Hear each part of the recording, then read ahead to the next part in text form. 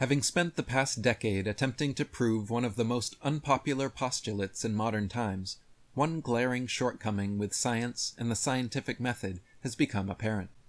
The meaning of the words evidence and proof, and the acceptance of the latter, are hopelessly subjective and open to interpretation. For example, Merriam Webster defines evidence as an outward sign or indication that furnishes proof, and then defines proof as the cogency of evidence that compels acceptance by the mind of a truth or a fact. In other words, evidence is something that furnishes proof, and proof is whenever someone accepts a preponderance of evidence as actually being the truth. The problem with this is that when truth runs counter to people's long-standing preconceptions, beliefs, and biases, no matter how much or how conclusive the evidence presented, they can, and very often will, refused to accept it as proof. In 1885, William Carpenter published his book 100 Proofs That the Earth is Not a Globe, which inspired me 130 years later to write and publish my book 200 Proofs Earth is Not a Spinning Ball. Upon the release of Carpenter's book, many readers were swayed by the evidence provided and agreed that his arguments furnished absolute proof that Earth could not possibly be a globe. Likewise, since the release of my own, many people have reached the same conclusion, and agree that based on the preponderance of evidence provided, there is absolutely no way the stationary, level earth beneath our feet could actually be a tilting, wobbling, spinning oblate spheroid. The vast majority, however, indoctrinated by heliocentric pseudoscience and blinded by generational brainwashing, could be shown 10,000 proofs Earth is not a spinning ball, and due to cognitive dissonance, Dunning Kruger effect, and other psychological barriers, still be unable to accept the new information. By comparison, doing a Google search for globe Earth proofs, the most I could find gathered in one place is only 10. So quantitatively, mine and Carpenter's books are furnishing 10 to 20 times more proof in our pudding than the globe has available anywhere. Not to mention, all 10 of the supposed globe proofs offered, such as circumnavigation, ships disappearing over the horizon, and Foucault's pendulums, are thoroughly debunked within my 200 proofs book. But what about qualitatively? Most agree quality is more important than quantity anyway, so are the few globe proofs offered better reasoned and more conclusive than the alternative? Herein lies the rub. The answer to this question is completely subjective and open to the interpretation of each individual. One person will read both the popular science article 10 Ways You Can Tell the Earth is Round and my book 200 Proofs Earth is Not a Spinning Ball, then claim the evidence provided in the latter was far more veracious and conclusive than the former.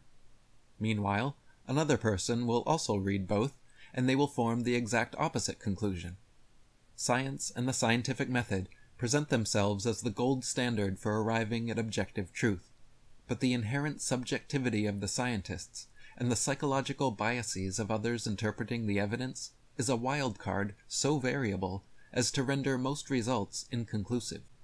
Hence, there are almost always scientists on both sides of diametrically opposed, mutually exclusive issues who both believe they have proof for their claims.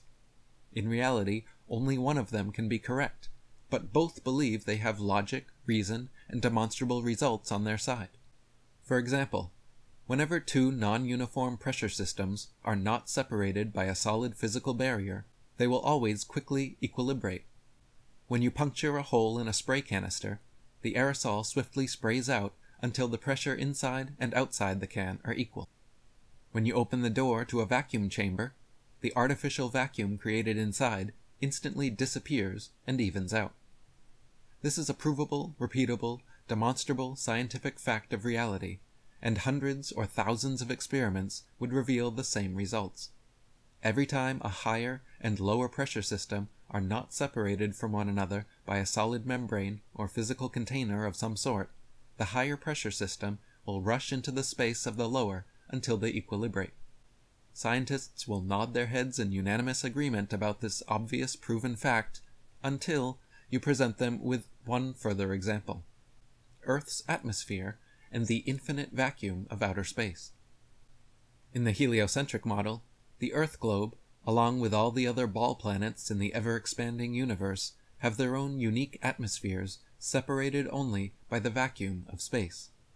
There is no solid barrier or physical container between the atmospheres of the Earth and the other planets and the outer space vacuum that surrounds them.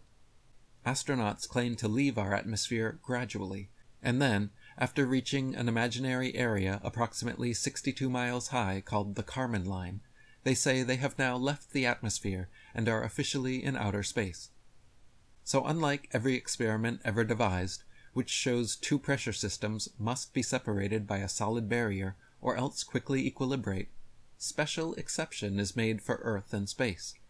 Somehow, Earth's atmosphere just magically maintains its pressure until gradually becoming the vacuum of outer space.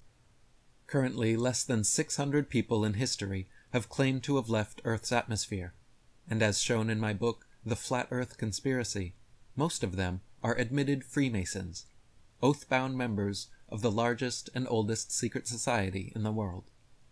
The reality is that most scientists and lay people alike believe the lies and camera tricks of these men over proven, demonstrable, repeatable science.